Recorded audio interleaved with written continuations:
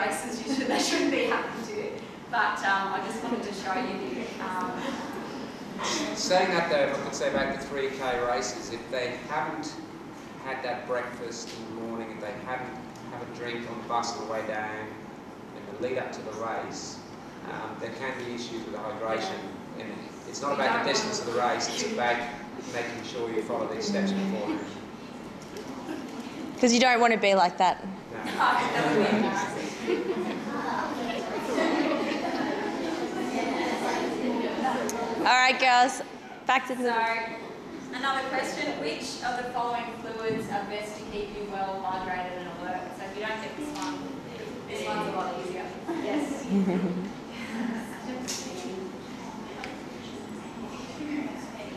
So, why dehydration is bad? So, when you do sweat, the water, the water that, the sweat that does um, come out of your skin is actually from your blood volume. So, if you if you're losing volume from your blood, it means obviously you have less volume to your blood. So it means that your blood gets thicker and it can't make its way around your body as well. So it means that oxygen doesn't deliver to your muscles as well, um, which in turn means your heart has to pump a lot harder to try and get that blood around your body. Um, the exercise will feel harder because it is. Uh, it will make you feel tired because you are tired. Um, it makes it hard to think clearly. Uh, you could get a cramp, and also obviously you don't perform as well. So with uh, how much you do sweat, it obviously, obviously changes depending on the climate. So if you're in the middle of summer, you probably find if you're training, you sweat a lot more than you want, or you will find that you sweat a lot more than when it's cooler. Um, so when it's hot and humid, you will sweat more. Uh, people who have more muscle mass sweat more, and people who have uh, larger surface area will sweat more. Um, more intense exercise will make you sweat more. When you're fitter, you actually sweat more because it's your body's mechanism of cooling yourself down, so your body gets better at trying to put yourself down. So don't feel bad if you're a big sweater because it just means you're a good person. Uh, men will sweat more than women, and adults sweat more than, than kids. And also, different people are just different in terms of some people sweat more than, than others. So, how much do you actually need to drink just because your friend needs only needs 500 mils of fluid doesn't mean that you only need 500 mils. So it's something for you to um, just take a note of, and I'll go through some ways that you can take a note of how hydrated you are. Um, and it's something that you need to learn about what your individual, what your, like how much you individually sweat. So do a weight test and develop a plan. So with, does anyone, I don't know if you have ever done this with the team, but ever weighed people before and after a session and seen how much they actually lose in, in We haven't done it with the girls, but yeah, I've, Yeah. I've done it. Yep, yep. So a lot of people think that when they weigh themselves before exercise and go for a run and come back, they think, oh wow, lost a kilo. That's actually not a kilo of fat, unfortunately. Um, it's a kilo, it's a litre of fluid. So when you weigh yourself before and after, you can gauge how much you actually sweat during training. Um, in saying that though, just because you sweat a litre one day doesn't mean you're going to sweat a litre another day. It might be a really hot day and you might sweat two litres. Um, I was the Brisbane Lions dietitian a couple of years back when Jonathan Brown used to sweat. Uh, he weighed himself before and after a game and he lost six kilos in a game, but he would have also drunk about two or three litres. So he was losing nine litres of fluid out of his body in game. So that's that's why it can be, especially in those kind of hot, humid conditions, it's good to kind of gauge how much you do sweat and how much you do need to replace um, and help uh, your body recover. So when you, a kilo is around about a litre of fluid. So if, now obviously if you see um, that you, when you've lost a kilo, uh, with recovery, recovery, you want to try and replace about 150% of what you've lost, so that's one and a half times. So if you lost a kilo, how much would that be that you need to try and drink? Yeah, perfect. So one and a half litres over the next four hours. So where that becomes a bit tricky is if you finish training at say five o'clock at night, you don't want to be in the toilet all night. So it's trying to, if you can, drink that slowly. And the problem with when I was working with the Lions is they get out of, they finish their games at ten thirty at night. So if Jonathan Brown's losing six litres of fluid, he has to drink nine litres of um, fluid in the next four hours, which keeps him up till about three o'clock in the morning. So sometimes those things always as practical as what you want them to be, but in terms of um, what you guys should be looking at is trying to get in uh, around about 150% of what you lost over the next four hours.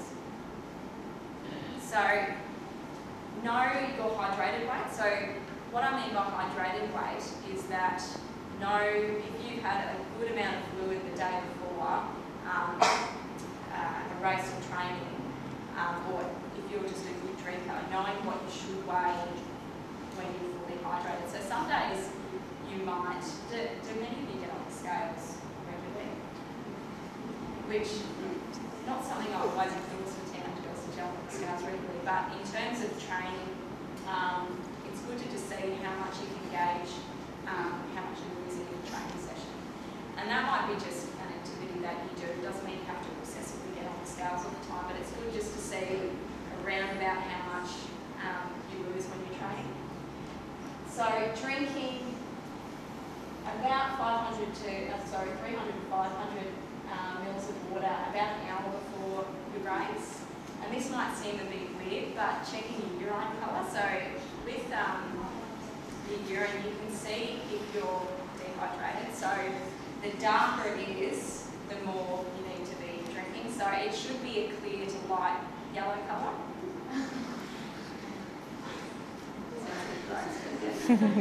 Um, and does that all make sense with the hydration?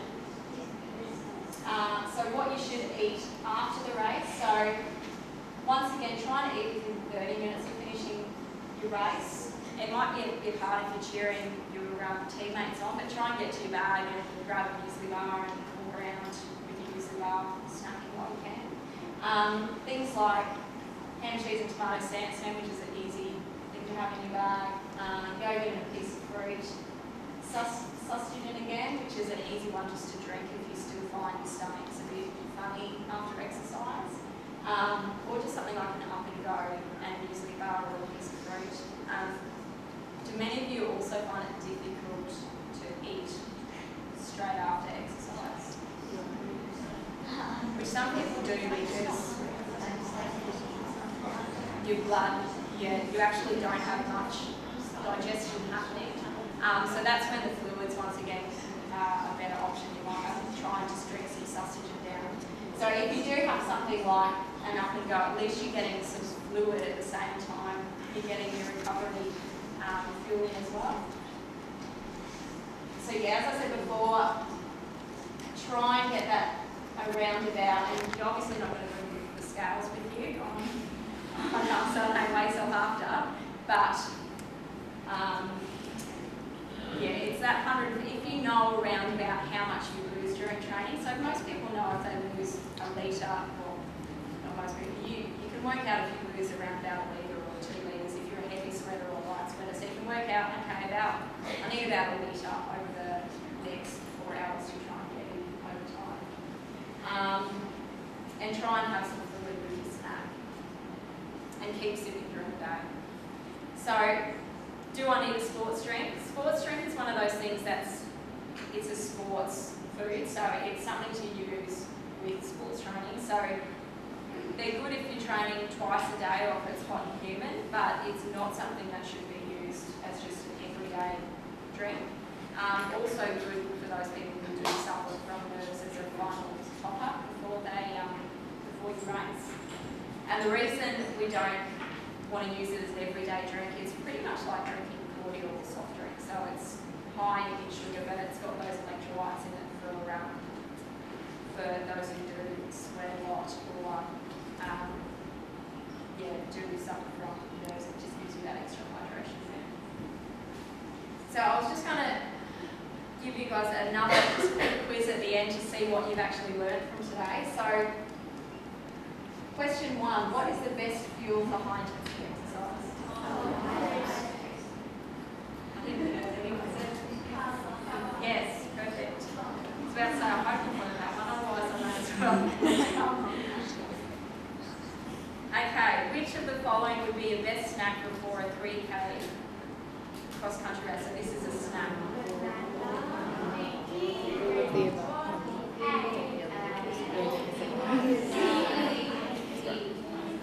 All of the above. So it depends on the person. Someone might think, yeah, banana's a good snack for me because that sits well in my stomach, or I get nervous, I don't like to eat anything, so I like to sip some sports drink. So all of the above can be good options of a snack beforehand. And when should you be having your snack? One to two hours. Yeah, perfect. One to two hours out.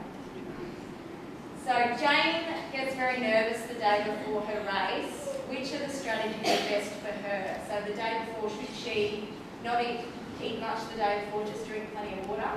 Or should she drink soft drink and lollies as these foods are easier on the stomach? Or should she try and follow her normal eating as much as possible, but add in nutritious drinks such as smoothies and Sustagens for where she's struggling to eat? I hope you get that one. Excellent. Okay. Jane again. So she weighs 55 kilos usually before training in the afternoon. After she's been drinking all fluid, she's been drinking fluid all day. So that's her hydrated weight when she's um, dehydrated. Sorry, when she's been drinking plenty of water. Um, she weighs herself after training. This is a bit of a mathematical. I had to think about this one, but I was wrong. Um, she weighs herself after training. She weighs 54.2 kilos. How much should she drink after training?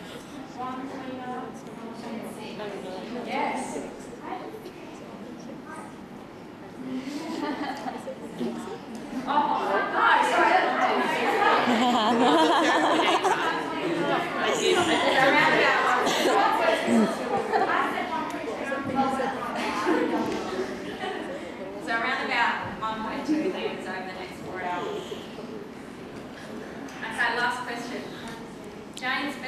Tells her that her dietitian told her that she should have two pieces of toast with honey before the race.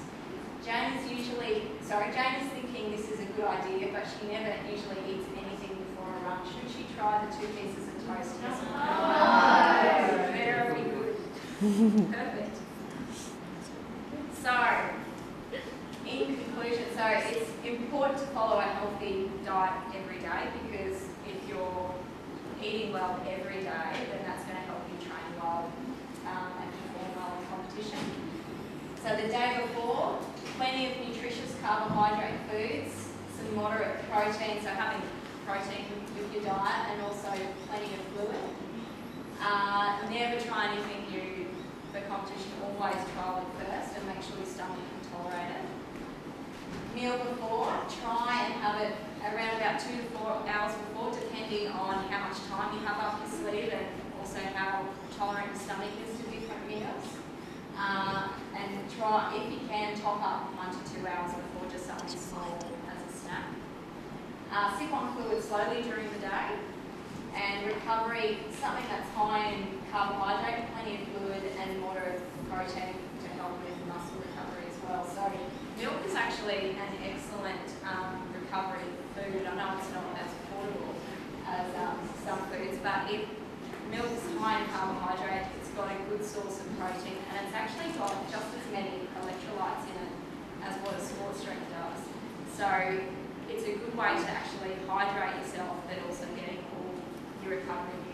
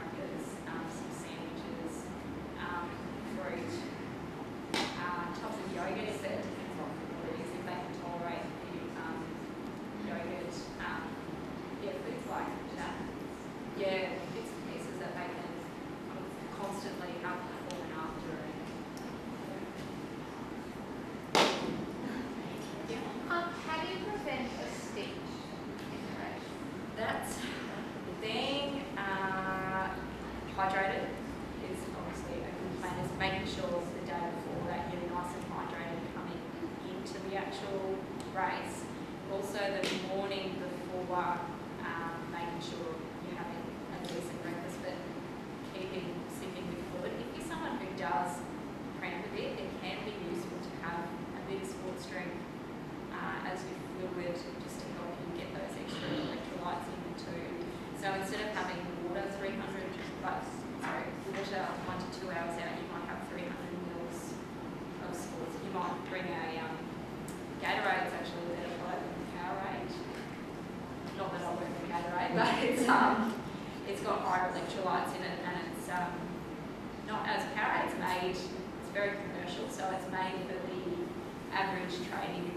jumps into the server and wants to grab either a Coke or a Powerade. So Gatorade is an actual better sports product. So if you were to buy Gatorade and just slowly sip on that in the morning, that should help you.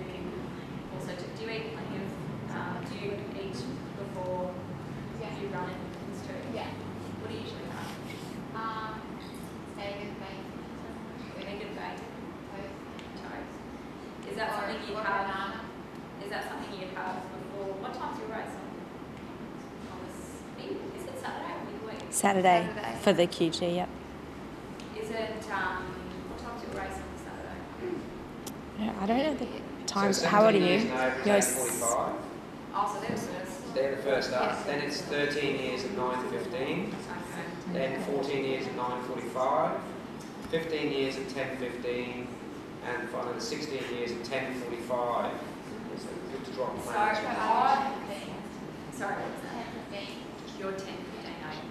Because I was going to say, if you're at 8.30, I would definitely not have bacon and eggs for breakfast. Yeah. Um, 10, 15, uh, you could get away with um, a po- like poached egg on toast, but I probably Yeah. wouldn't go to bacon Yeah, I know. as well. Or even just um, cereal with milk or muesli with yogurt instead because um, that's a better carbohydrate source. But if you're not used to having that, do you like muesli? Yeah.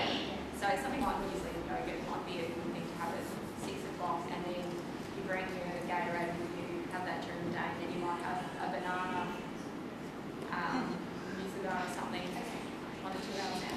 Yes. Yeah. So half oatmeal, yeah, it's very good. Yeah. Yeah, the same kind of, yeah, porridge is, porridge is really good for you because it's, uh, has a, everyone heard of glycemic index? So if it's, if it's four hours out from an, an event and you want something that's gonna be a long sustained energy, um, things like porridge can be really good for you because it does release nice and slowly. Whereas if you have um, white bread, it releases into your blood stream straight away and your body chews it up too quickly, so it means you don't have as much energy later on. Now I'm probably just to start confusing people. with No, no, no. But um, yeah, with your grainy breads, they're better for you because they're a slower release of energy, so I think it's to release slowly over the morning. Yeah. Any more questions, girls? Is that just cut off?